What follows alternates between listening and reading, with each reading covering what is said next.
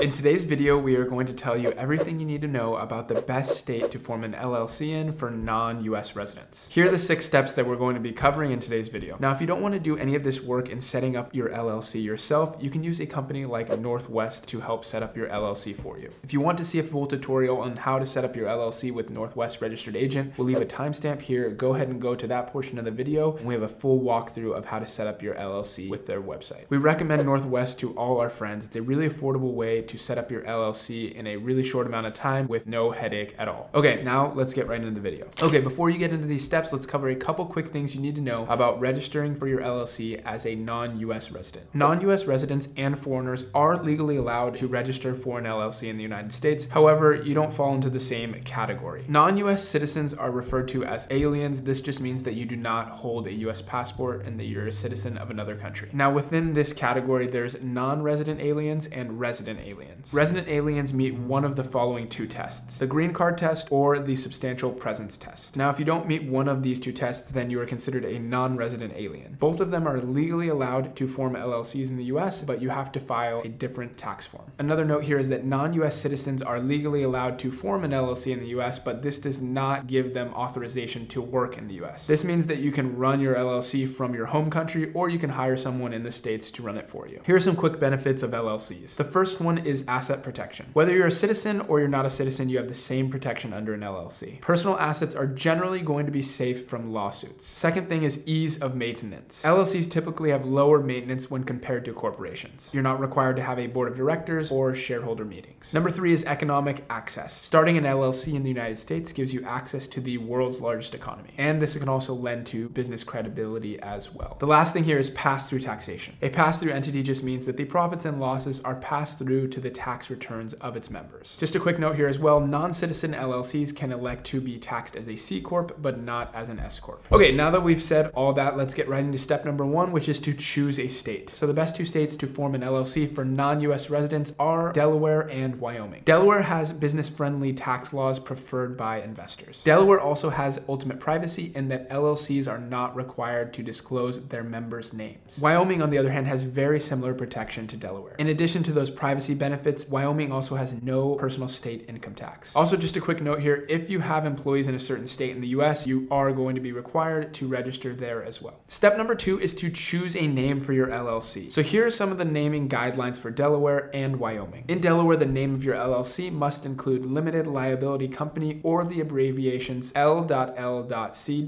or LLC. Wyoming has similar naming guidelines, but they also allow for limited company to be used. This can be abbreviated as LC or L.C. You can also use LTD.liability co. or limited liability co. You can also use these abbreviations for limited liability company. Now your name cannot be confused with a government agency like the FBI, CIA, Treasury, or State Department. And you're going to want to make sure that the name you choose is available in the state you choose. So you want to go to the Secretary of State website for your state. You also want to make sure you choose a name with an available URL in case you want to make a website in the future. Step number three here is to hire a registered agent. A registered agent is a person or business responsible for sending and receiving legal documentation on behalf of the LLC. This might include tax forms, lawsuits, and government forms. This person must be a full-time resident of the state that you register in. And this can be an employee or a registered agent service. Now we're going to show you how to use Northwest to set up your registered agent service. Now the reason why you don't want to be your own registered agent is because all the information that you file with will be on the public domain. This can include things like address, phone number, and any other personal information that you do not want to be out on the internet. And technically, for this role, you have to be available all the time. It's better to just use a service like Northwest. This is what most businesses do, and the service ranges from 100 to $150 per year. But if you use a service like Northwest, they are going to provide a free year of registered agent when you form your LLC with them. So there are some steps that you will need to do after forming your LLC, and we're going to talk about those a little bit later on in the video. For now, go ahead and click on that link down below, and we'll go ahead and walk through this formation process together. Once you've clicked on that special link down below, it'll bring you to this page here and you'll see that for $39, you can have your LLC set up today. Let's go ahead and click get started. Now for the sake of this tutorial, we're going to register with Delaware. Here you'll be able to choose what entity you want. We are going to choose LLC. Then go ahead down here to select state and we're going to go down and choose Delaware. And then the company filing options will pop up here and you'll see that you can do 11 day processing, nine day processing, and seven day processing for different fees. The standard rate for Delaware is $110 to file. Now just note that Northwest doesn't get any of this money. This is going directly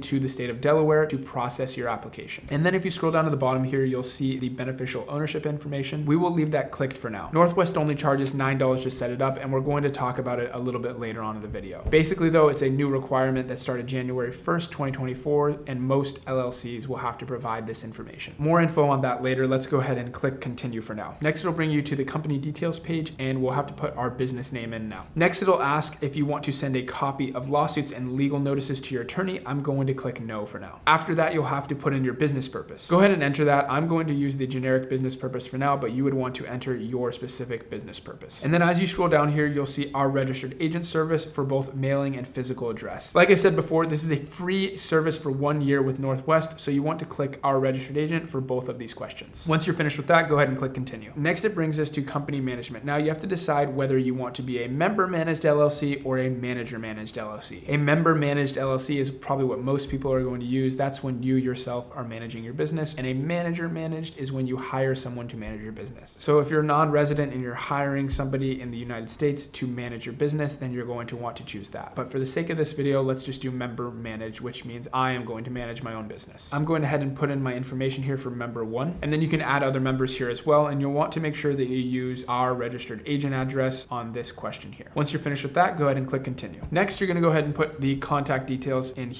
I'll go ahead and enter that. Once that's finished, you can go ahead and click continue. After that is account setup. It's going to ask you for your email address. And then you can click generate password and then click continue. Next is business identity. Now this is a free 90 day trial that Northwest provides to you. It includes domain name registration for one year. This includes a website hosted by Northwest but owned by you. This includes a business email address and business phone number as well. I'm going to leave it checked for now. Let's go ahead and click continue. Next is the optional items page. These are at an additional cost. So the tax identification number that we're going to talk about a little bit later, they will file this EIN number for you. Next is the S Corp election for $50. They'll file form 2553 for you. Then is the mail forwarding service and the trademark service. We'll leave these all off for now and we'll click continue. Lastly is payment information. I'm going to go ahead and insert my information now. And once you've finished, you can go ahead and take a look at the order summary before you click continue. So for the basic package, it's $39 and then that $110 fee that we're going to have to pay to the state of Delaware, whether we go through Northwest or not. Lastly is that BOI report that they're filing on our behalf for only $9. For a total of $150, it's a really great deal and it saves so much headache and makes sure that you're compliant in all the areas that you need to be. We highly recommend that you use a service like Northwest. When you're finished here, you can go ahead and click done. Okay, now that we've finished going through that walkthrough, there are a couple more steps that we need to talk about. Step number four is file your articles of organization or your certificate of formation. These are the same thing, they're just called different things in Delaware and Wyoming. In Delaware, it's called the certificate of formation. In Wyoming, it's called the articles of organization. So your LLC is truly formed when you create this document. You'll have to check the Secretary of State website or the government website for your state. We'll leave links here so that you can check those out. Step number five is to obtain your EIN number. The EIN number acts as a social security number for your business. Non-citizens without a social security number or ITIN number cannot file this online. Now this is form IRS SS-4. You can file it by phone, mail, or fax. Here's some of the information that is required for this form. Name of your business, US business address, explanation of your LLC, name of LLC member with priority control, business start date, fiscal year end month, expected number of employees, and third party designee to receive your EIN number. Step number six is to open a US bank account. Now you won't be able to open a US bank account until you have received your EIN number. And most traditional banks are going to want you to walk in and hand over your information in person. And they're going to require the following passport and ID card or driver's license from your home country, articles of organization or certificate of formation, your LLC operating agreement, your EIN number, your proof of LLC's US address, and also they could potentially ask you for your address in your home country. So that's the traditional bank route with a bank like Chase, Wells Fargo, or Bank of America in America. Now, some online platforms like Wise, PayPal, and Stripe are not valid bank accounts to satisfy this requirement. The best option for non-US residents here are online banking platforms. We recommend Mercury. We'll leave a link down below in the description so you can check them out. But basically, Mercury is FDIC insured and they were actually created to provide a banking option for startups.